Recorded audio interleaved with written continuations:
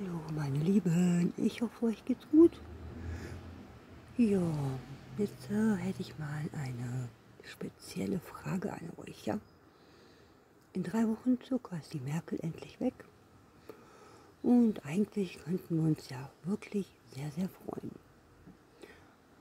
Wie ist es bei dir? Freust du dich? Oder sagst du dir, naja, was jetzt nachkommt, ist nicht wesentlich besser? Als das, was jetzt 16 Jahre war.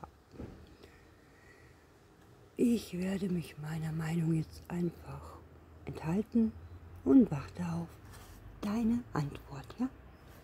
Bis dann. Tschüss.